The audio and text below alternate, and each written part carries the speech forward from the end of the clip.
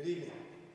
I'm Daniel McKelway. I'm a board member of the Rocky River Chamber Music Society, and I want to welcome everyone who's watching and listening on whatever device they're on to our final concert of the 2020-2021 season, and hopefully our final concert of the pandemic.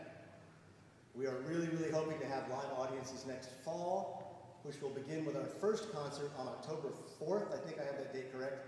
And you can find lots of information about that at rrcms.org.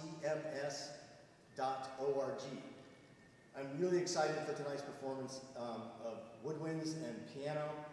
It's been a while since we've heard these instruments really being able to play together. You'll notice that I'm not wearing a mask and the group isn't either, and that's because this is a fully vaccinated event. So enjoy, thank you very much. If you just feel crazy inspired to contribute, you can go to that same website, rrcms.org. Thank you.